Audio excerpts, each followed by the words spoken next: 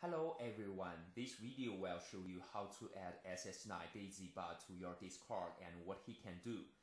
This bot supports PlayStation and Xbox DayZ Nitrado private server to help server admins to do. Post kill feed and heat map in Discord. Set base reading alarm for players. Set green zone, ban rules breakers automatically. Set safe house, ban intruders automatically.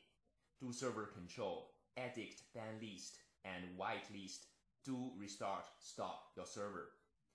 Tracking glitchers, dupers, cheaters, and players. And more function will come soon. To start this bot, you just need go to our official website 2022 End Times.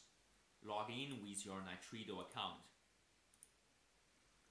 Choose a membership with us and click Start you will receive a mail with authority code. Then add the bot to your Discord and paste the authority code and directly message the bot. And then it's done. And use help boss to show all the commands you can use. Thanks for watching.